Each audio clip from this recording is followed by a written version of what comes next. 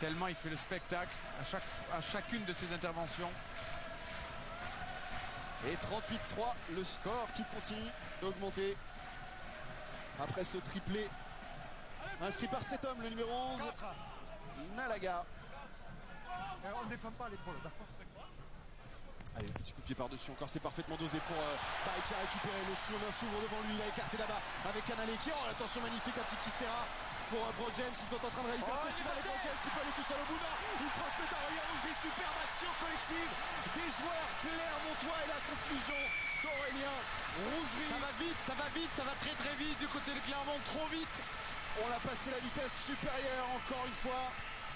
Avec euh, à la baguette, on ne parlait plus en tant que chef d'orchestre. Le travail de, De Bro James sur cette action.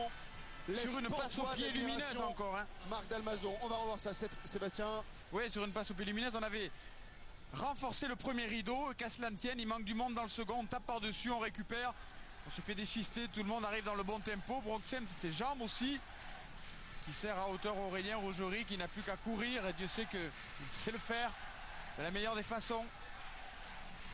Ah, Brock James sur cette action euh, parfaite de, de maîtrise sur le coup de pied, parfaitement dosé. Puis ensuite, le talent. Canale qui revient intérieur, la petite Fistera et la Brock James.